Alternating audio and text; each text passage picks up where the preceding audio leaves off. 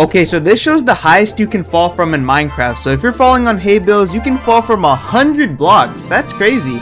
Okay, so next up is honey. I'm gonna guess it's around the same, right? Yeah, 100 blocks. But I'm excited to see what the last one is.